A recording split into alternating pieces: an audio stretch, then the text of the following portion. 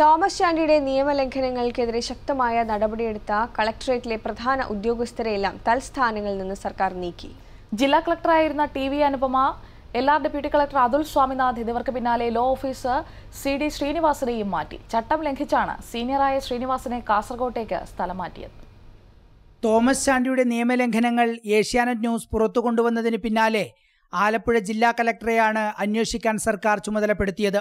അന്നത്തെ കലക്ടറായിരുന്ന T V അനുപമയ്ക്ക് ശക്തമായ പിന്തുണ നൽകിയ രണ്ട് ഉദ്യോഗസ്ഥരായിരുന്നു L R deputy collector Athul സ്വാമിനാഥും law officer C D ശ്രീനിവാസനും. ചെങ്ങന്നൂർ തെരഞ്ഞെടുപ്പ് പ്രഖ്യാപിച്ചപ്പോൾ അതുൽ സ്വാമിനാഥനെ ഭൂപരിഷ്കരണ വിഭാഗം ഡെപ്യൂട്ടി കലക്ടർ സ്ഥാനത്ത് നിന്നും നീക്കി. തോമസ് ചാണ്ടിയുടെ നിയമലംഘനങ്ങളെക്കുറിച്ച് എല്ലാ കാര്യവും അറിയാവുന്ന ഒരു പ്രധാന ഉദ്യോഗസ്ഥനെ നീക്കുകയായിരുന്നു ഇതിലൂടെ ചെയ്തത്. തെരഞ്ഞെടുപ്പ് കഴിഞ്ഞതോടെ കലക്ടർ ടി വി അനുപമയെ തൃശൂരേക്ക് മാറ്റി.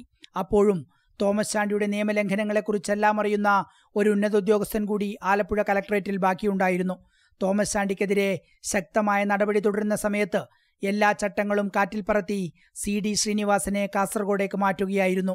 ഇരുപത്തഞ്ച് രണ്ട് രണ്ടായിരത്തി പതിനേഴിലെ ഉദ്യോഗസ്ഥരുടെ സ്ഥലമാറ്റം സംബന്ധിച്ച ഉത്തരവ് പ്രകാരം ഒരു ജീവനക്കാരനെ പോസ്റ്റ് ചെയ്താൽ മൂന്ന് വർഷം നിലനിർത്തണം.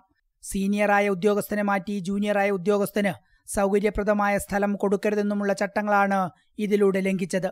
ഹൈക്കോടതിയിലടക്കം തോമസ് ചാണ്ടിയുടെ നിയമലംഘനങ്ങളിൽ കൃത്യമായ നിലപാടെടുക്കാൻ ജില്ലാ ഭരണകൂടത്തെ സഹായിച്ച ലോ ഓഫീസറെ മാറ്റിയതോടെ തോമസ് ചാണ്ടി തൽക്കാലം കൂടുതൽ സുരക്ഷിതനായി. പുതുതായി ചുമതലയേറ്റ ജില്ലാ കലക്ടർ അടക്കമുള്ളവർ തോമസ് ചാണ്ടിയുടെ നിയമലംഘനങ്ങളുടെ ഫയൽ പഠിച്ചു വരുമ്പോഴേക്കും കാലം ഒരുപാട് കഴിയും. നടപടികൾ താൽക്കാലികമായെങ്കിലും നിലച്ചു എന്ന് ചുരുക്കം. ആലപ്പുഴയിൽ നിന്ന് T V Prasad Asianet news.